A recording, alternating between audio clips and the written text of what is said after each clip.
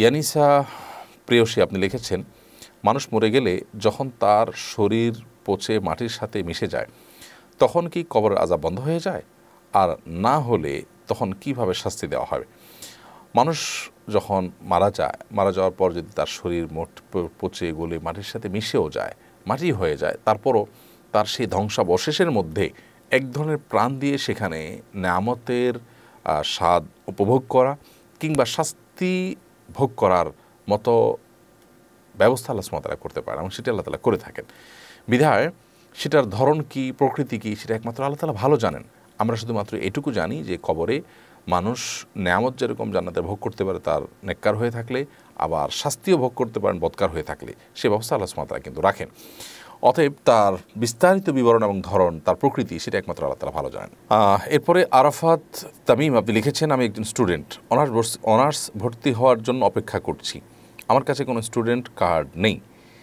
আমার ভাইয়ের কার্ড দিয়ে বাসে হাফ ভাড়া দিলে কি গুণা হবে?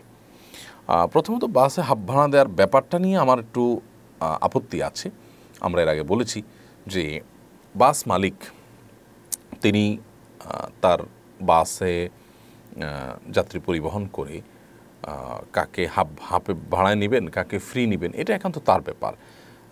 সরকার বা অন্য কেউ আসলে সেখানে জোরপূর্বক ইসলাম শরিয়ার দৃষ্টিকোণ থেকে জোরপূর্বক তার উপরে চাপাতে পারে কিনা যে অমুককে তুমি এই ছাড় দাও, অমুককে তুমি ফ্রি দাও, এটা বলতে পারে কিনা। কারণ কারোর সম্পদে অন্য কারোর হস্তক্ষেপ করার কোনো সুযোগ ইসলাম শরিয়ার দৃষ্টিকোণ থেকে নেই।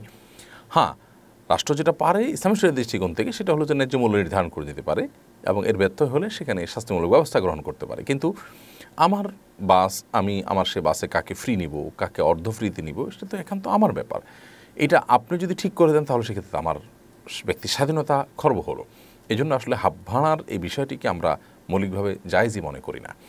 দ্বিতীয়ত আপনার ভাইয়ের কার্ড ব্যবহার করে আপনি যাচ্ছেন, তার মানে আপনি তার জায়গায় নিজেকে স্টুডেন্ট হিসেবে দেখাচ্ছেন, সেটাতে স্পষ্টত প্রতারণা। যার কারণে এই বিষয়গুলো ইসলাম শরীর দৃষ্টিকোণ থেকে আমরা জায়েজ মনে করছি না।